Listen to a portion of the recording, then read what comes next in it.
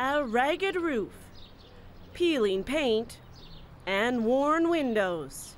All of it could have been yours for $2.48 million. At more than 80,000 over asking, that's what the battered Vancouver bungalow sold for. Daniel Warren didn't sell the shabby shack, but he says it's rare homes here ever go for the listed price or below. In most instances for all realtors in Vancouver, for sure, the norm is right now above.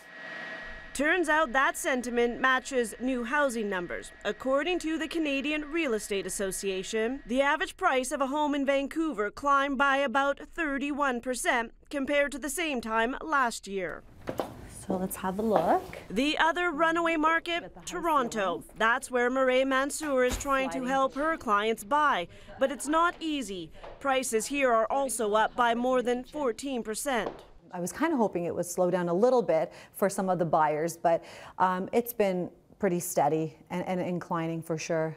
Some say the soaring costs are a result of low inventory. Others argue, particularly in Vancouver, speculation and foreign investment are to blame. The international flow of real estate, in some sense, people seeing real estate as a place to park cash, has really amped up. For months now, there's been calls for the BC government to track foreign buyer activity. Today, during the release of its annual budget, the province said it will start this summer. Individuals who purchase property will need to disclose if they are citizens or permanent residents of Canada. And if not a Canadian citizen or permanent resident, home buyers in BC will be required to state what country they call home. As for what the government plans to do with the data, well, Lisa, they wouldn't say. All right, Melanie Nagy in Vancouver. Thanks, Mel.